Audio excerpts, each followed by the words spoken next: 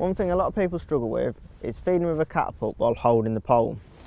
I'll show a very simple way how I do it that hopefully you'll be able to replicate and find just as easy. Main thing to do is set the pole and your box so everything's coming across your knees and your knees are flat because this actually takes a lot of the weight and enables you to feed with a catapult quite easily.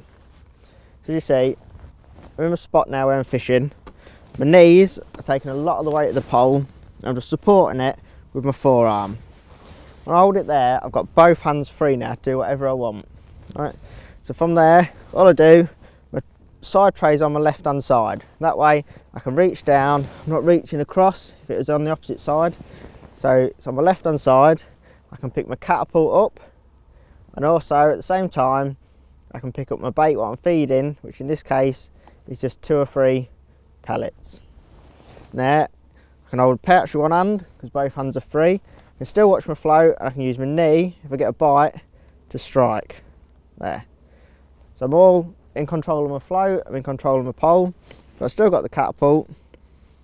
Put the pellets in the pouch, there, use my backhand which is free I hold the pouch and then I don't pull the pouch back, I push the catapult forwards. So from there, all I'll do is push the catapult forwards and at the same time release the pouch. And there I am, um, nice and easy feeding. It's that simple. If it's a little bit windy, you can always support it a little bit with a couple of fingers. that still gives you the freedom to feed constantly. So if you're fishing shallow, especially in summer, you can just be feeding all the time, pinging pellets out, lay your rig in, again, you can feed some more pellets.